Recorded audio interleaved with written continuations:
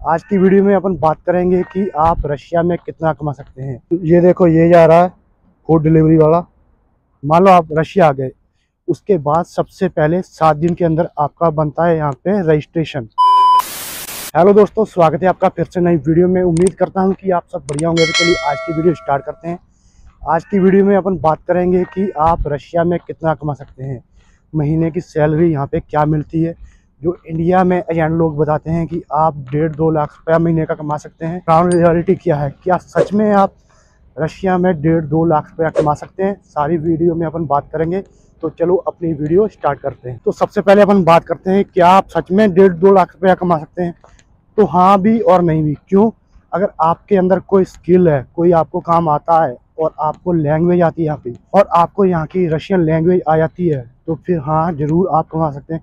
कई सेक्टर हैं जिसमें आप कमा सकते हैं। जैसे यहाँ पे आप, यहाँ पे ऑयल सेक्टर में काम करते हैं, जहाँ आप किसी कॉल सेंटर में काम करते हैं, जहाँ फिर आप आईटी सेक्टर में काम करते हैं तो आसानी से आप दो ढाई लाख तक भी कमा सकते हैं रूबल तो हाँ और अदर जो है कि अगर आप इंडिया से उठ के यहाँ पे आ जाएँगे और एजेंट कहेंगे कि आप इतना कमा लोगे तो वो सरासर झूठ है।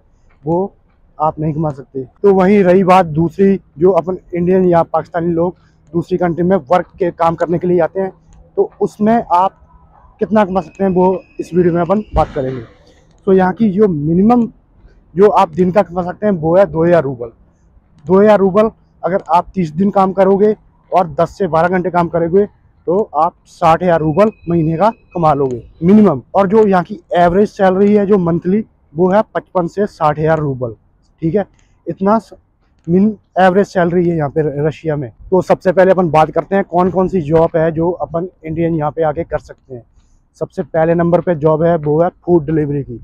यहाँ पे बहुत सारी अलग अलग कंपनियाँ हैं जो आपको जॉब देती हैं, पर जो सबसे ज़्यादा यहाँ पे मशहूर है, वो है यानडेक्स कंपनी उसमें क्या है, आपको ऑनलाइन फ़ूड डिलीवरी करनी होती है।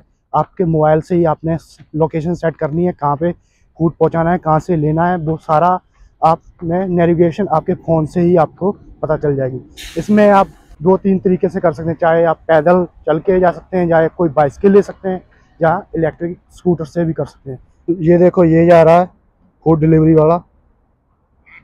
ऐसे इलेक्ट्रॉनिक स्कूटर पे भी यहाँ पे फ़ूड डिलीवरी करते हैं।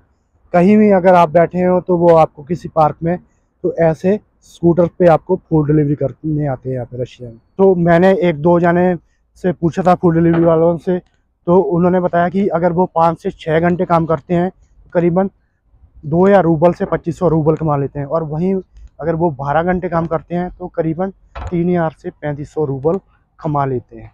तो ये है फ़ूड डिलीवरी का हिसाब। इतना आप, वही आप कैलकुलेट करो महीने के हिसाब से तो आपका सत्तर, पचहत्तर हज़ार बन जाता है। इसके बाद दूसरे नंबर पे आप यहाँ पे टैक्सी की जॉब कर सकते हैं टैक्सी चला सकते हैं।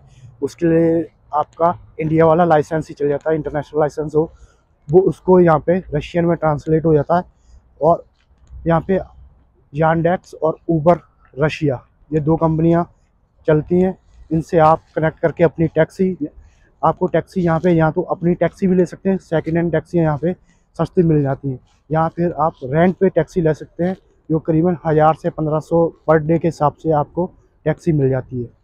तो उसमें भी आप पैंतीस सौ रूबल से चार हज़ार रूबल आप कमा लेते हैं। कई दिन कम भी कम पाते हैं, वो राइड के हिसाब से होता है।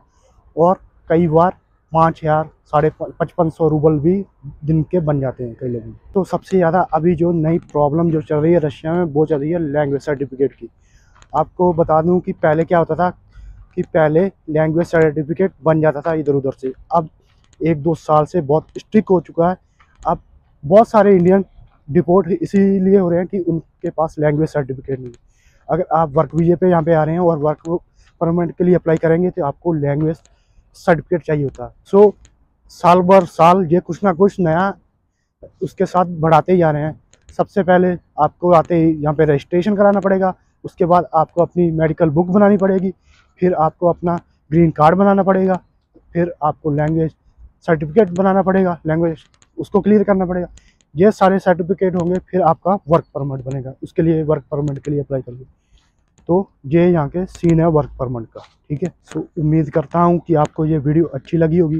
अगर वीडियो अच्छी लगी तो वीडियो को एक लाइक करना और जिसने अभी तक चैनल सब्सक्राइब नहीं किया तो चैनल को सब्सक्राइब करना। मिलते नए ब्लॉग में, तब तक के लिए बाय बाय